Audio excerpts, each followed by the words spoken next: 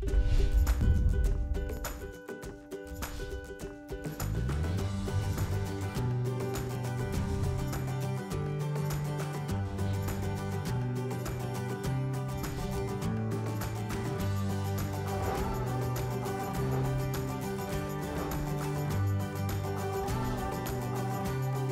last two or three years have been the most exciting in cancer research history.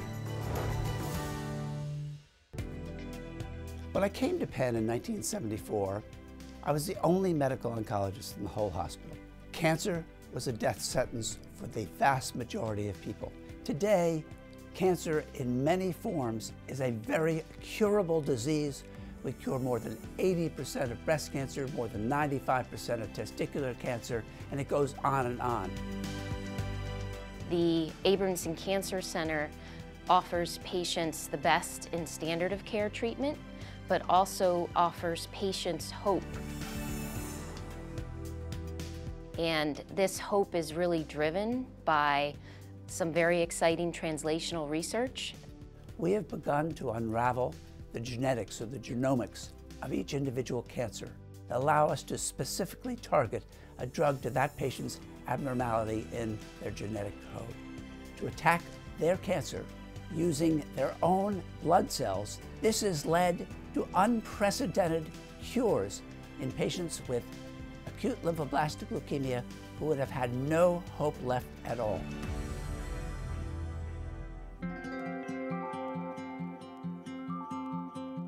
One of Penn's most famous researchers is Dr. Carl June, the pioneer in immunotherapy. He was recruited to Penn solely through the philanthropy of the Abramson Cancer Center. The federal government, the National Cancer Institute, would not fund his research because it was too risky, too far out. And finally, when he published his breakthrough work, the NIH came to him and wanted to give him money. Based on Dr. Carl June and David Porter's pioneering work in the immunotherapy of acute lymphoblastic leukemia. Dr. Steve Schuster at Penn has translated this CART-19 therapy into a new treatment for patients with refractory diffuse large B-cell non-Hodgkin's lymphoma. These are patients who failed chemotherapy, have failed bone marrow transplant, have no hope left. 50% of those patients achieve a complete remission.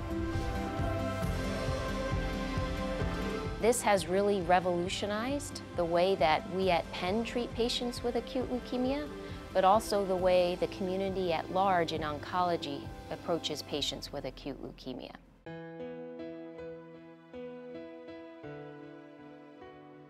This is actually a real case. Parents of a young child coming to a Penn and CHOP with a child who now has no other option with acute leukemia, basically getting blood transfusions, giving a prognosis of several weeks. And so the child came along and was enrolled in our CAR cell therapy. Her T cells, these are the white cells, are taken out of her blood in small amounts and then engineered by genetic engineering to arm these T cells so that they can kill cancer cells and then infuse it back into the child. And my cell phone rang.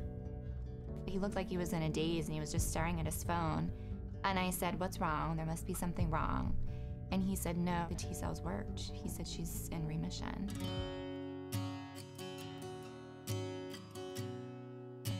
This is a child who had a prognosis of several weeks, is back in school now five years later, is enjoying life. We've now had hundreds of children, hundreds of children with ALL who will die in, in a few weeks. And they're benefiting from this around the country.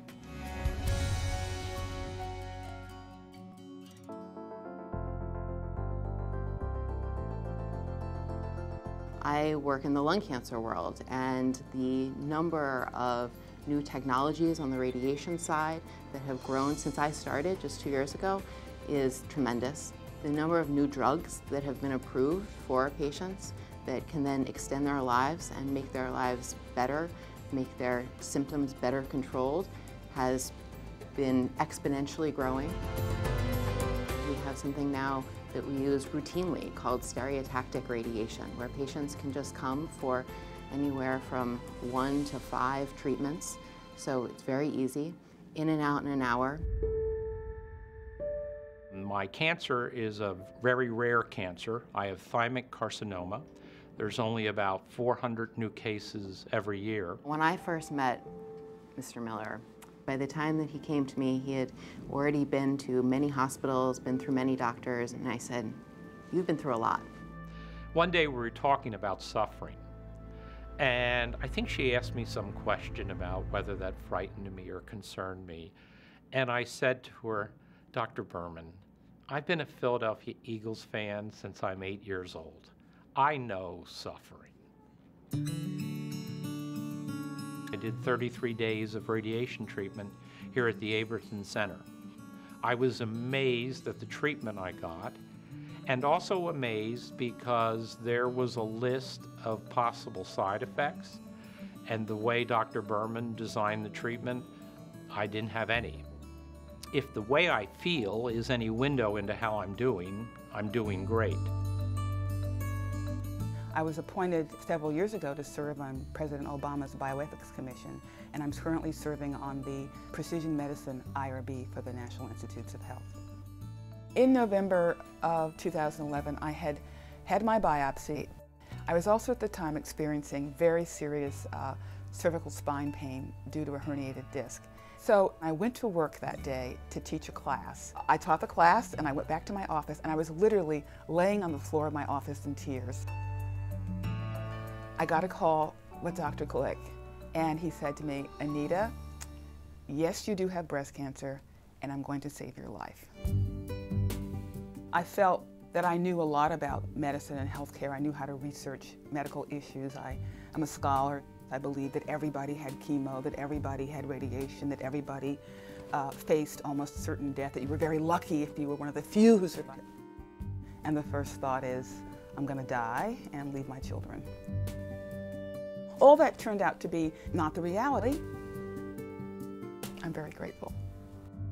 Now we have clinical trials being designed exactly for early detection of relapsed breast cancer. And in fact, the Philly Fights Cancers funds that have been raised actually help catalyze it. And this is where I think philanthropy is very important.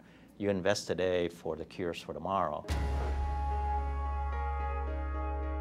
The Cancer Moonshot program is an important program because it focuses the nation's attention and the federal government's attention once again on cancer.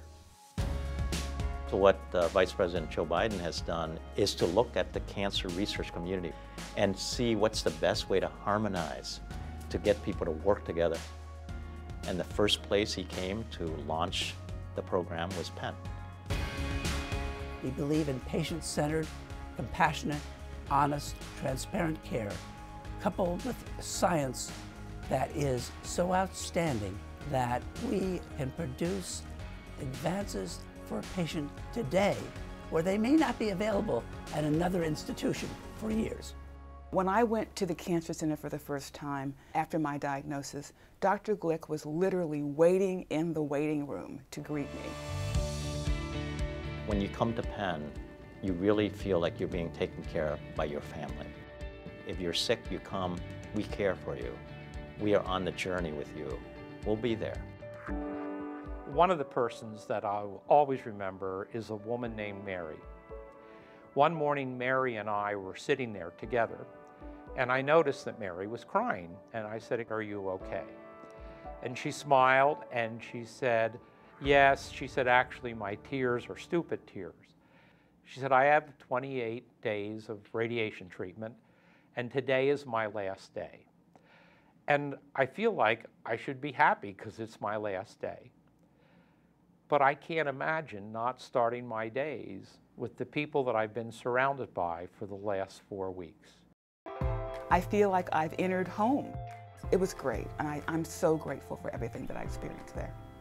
Without philanthropy, we would never be able to explore all the promising leads. Today, when an investigator gets a grant approved by the National Cancer Institute, of those approved grants, only 8% are being funded. Without philanthropy, we leave so many important ideas on the table that it's a tragedy.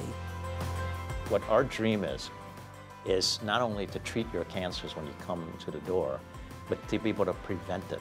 And we really are very hopeful that the science will lead us down the path where one day we look back and we said, we made it. We can close down our business and go home.